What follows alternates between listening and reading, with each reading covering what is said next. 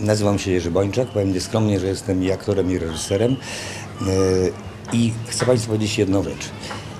Pracuję 40 lat w, w swoim zawodzie. Pracę rozpoczynałem tutaj w Olsztynie, na Mazurach, a, ale też bardzo blisko Warmii. W związku z czym, i to było 40 lat temu, po 20 latach postanowiłem tutaj zamieszkać. I generalnie udało mi się to. Mieszkam i w Warszawie, i tutaj. Nie ma piękniejszego miejsca. Głosujcie proszę na Mazury.